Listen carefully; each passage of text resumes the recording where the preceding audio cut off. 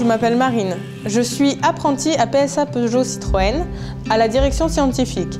Je suis aussi étudiante à l'ESISAR. C'est une école d'ingénieurs spécialisée en informatique, réseau, électronique et automatique. Avec l'aide de mon maître d'apprentissage en entreprise et de mon tuteur à l'école, je me forme au métier de la mécatronique.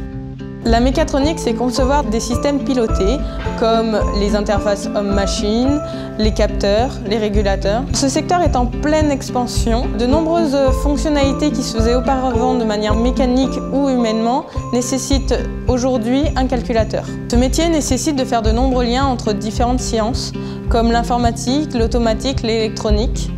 C'est pour cela qu'on va avoir de plus en plus besoin de ce métier.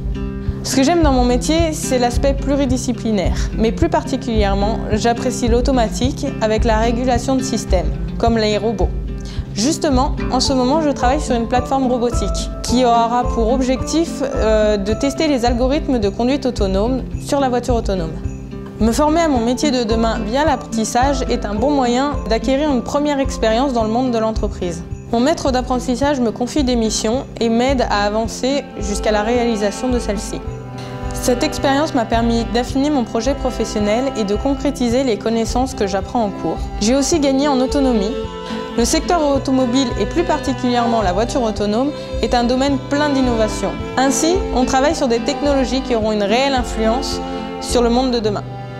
Dans 5 ans, j'espère faire une thèse CIFRE. Thèse CIFRE a pour avantage de lier comme l'apprentissage une école avec son laboratoire et une entreprise. Et j'espère faire ma thèse CIFRE à PSA Peugeot Citroën.